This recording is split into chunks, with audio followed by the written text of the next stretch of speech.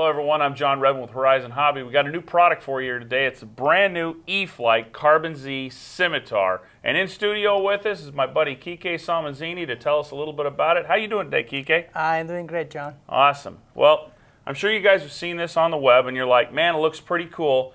But we have found reading some of the forums, I know I've seen them on Facebook, some questions, and through our webmaster, that uh, on occasion, I'm thinking people don't truly understand the difference between this and also the new F-27Q Striker. So today we're going to go over all those so you can truly have a better understanding of the two airplanes because although they may kind of look the same, uh -huh. they are worlds apart. Would you agree, Quique? I fully agree, John. Okay, so first off, let's just let's just hit Carbon Z real quick. Uh -huh. Okay, Carbon Z technology. What do we got there? Yeah, that's very important and a point for this airplane and a difference to the other ones. Uh, this uh, technology allowed to have an airplane that is lighter and still very strong. And uh, so it allowed it to fly the airplane under extreme G's, so that uh, hard maneuvers, and having all the time a total control, nothing is flexing, nothing is acting weird. So the plane really uh, feels like it's flying on rails.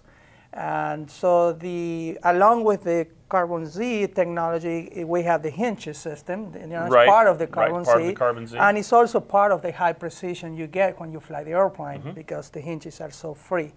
So all that uh, allow this airplane to be very light for the size it has. You know, it's, it's a 42 and a half inches uh, wingspan. Right. It's a very large airplane and so still with a very lightweight and still very strong. You know, kind of the similar thoughts we have with a uh, Carbon Z Yak 54. Right, right. So, so, of course, we have the modular design. The uh, the vertical fins plug in as we plug the wings in place. Correct. Wing panels come off. We can change the rudders out, the elevons from the hinge system and the modular design. Correct. And such. Uh, okay, so now we've kind of got an idea of Carbon Z. Lightweight, very strong, very sturdy, very rigid.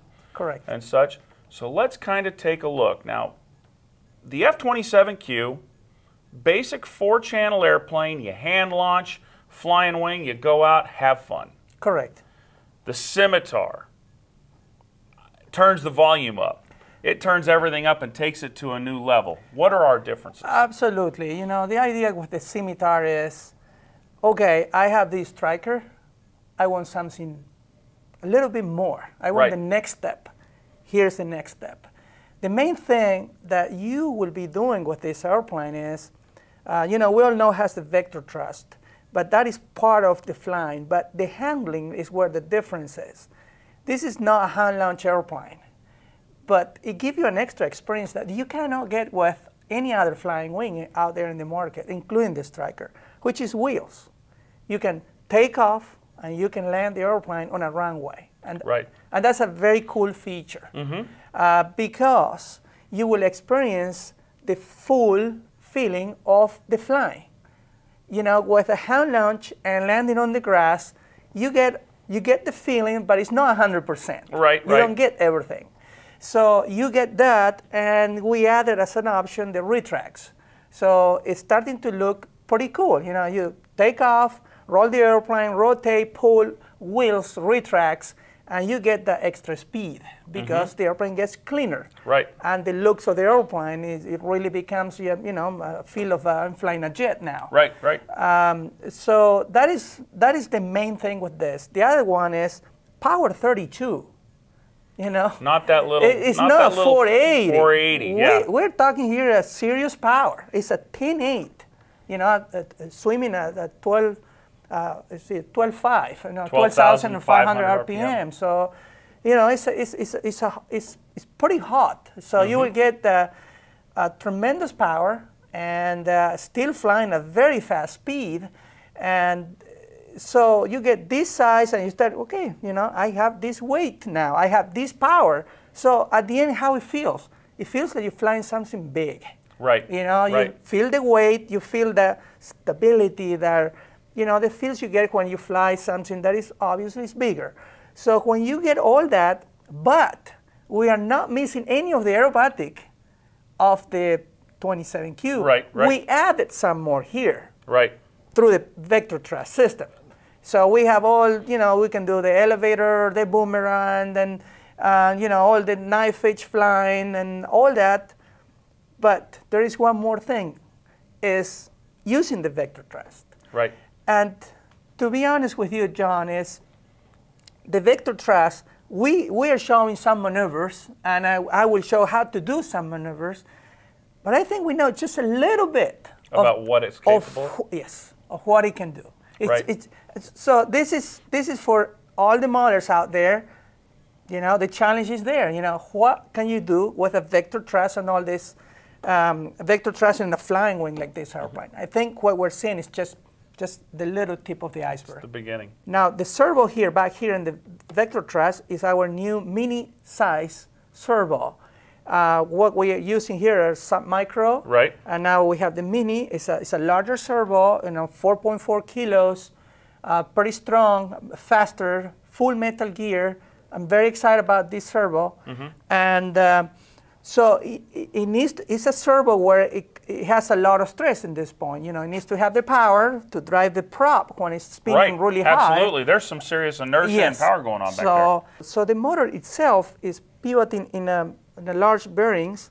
So imagine you have a can, and inside of that can is where the motor is, and then there is a top bearing and bo- bottom bearing, and then an arm that is driven by the servo. So the whole motor is spinning about 20 degrees each, each direction. Mm-hmm.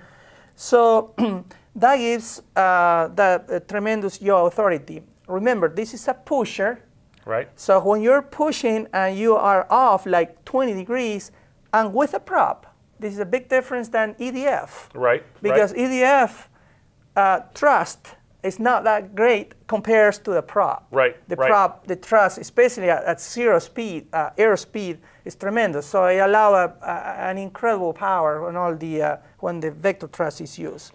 So this unit, um, uh, you know, is, is fully enclosed. As you see, there is nothing hanging out there, which it takes some engineering to achieve, you know, this Right, clean. right. And as, uh, as, as well, you know, getting all this system working in the right temperature, get, you know, the right cooling. So it took uh, quite a bit time to get, you know, the right cooling for Right. all the, the battery, the ESC, and the motor itself.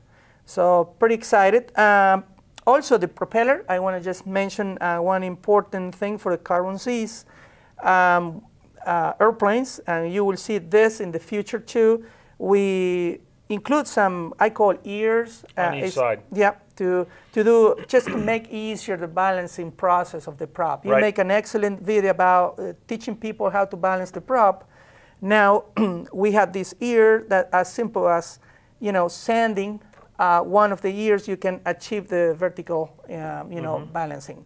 Props are coming quite good uh, out of the box. So Continue to improve. Absolutely. Right. Uh, still recommending double check before use it, um, but uh, it's looking pretty good. So, Excellent. other thing, uh, John, I would like to mention is about control horns. right. The control horns we have on all of them. We have a back plate. Um, we want to secure the control horns in two ways: using the glue, steel glue, plus back plate, so mechanical. So if it get loose, still something that will keep it in place. So we are addressing this, and from our own, all uh, carbon zero airplanes will come same way. Excellent. And as we sit down, we, we look at the airplane. It's pretty incredible, the design and such. Another note you hit me on, and we'll just hit it just briefly, is everything inside this airplane, all servos, motor mount, everything, screw in place. Nothing glues in place. It's a modular airplane, just like a larger quality type aircraft that you, you have to unbolt servos, bolt them back in, got the capturing on the control horns now and stuff. Um, just continue to refine the designs. Yep. Another thing, that's a very important point because you know you gotta replace a servo. You you're not there with a knife and going Right, back. right. So it's, it's, it gets the feeling and it, it operates the same way as you will do with the bigger airplanes. In the same line of thoughts, all the screws here are X, you know, heads. So Yeah, they're- known as Allen. Allen head. Allen head, uh, all of them, absolutely all of the screws on the airplane. So it's you know you are you're more precise and you can type better and Right, you can right. use it more, and so that gives a little bit of uh, more quality to the overall uh, appearance of the airplane. So there you go, guys. The Carbon Z E-flite Scimitar. Incredible engineering and design right here. Performance is something to be seen. I'm telling you, you're going to want to get one of these. Quique, I'd like to thank you for being in studio. Pretty awesome airplane, guys. You get a chance, don't wait to see one. Trust me, buy this one. You're going to love it. If you have any questions for me, you can find me at editors at horizonrc.com. We'll see you at the flying field.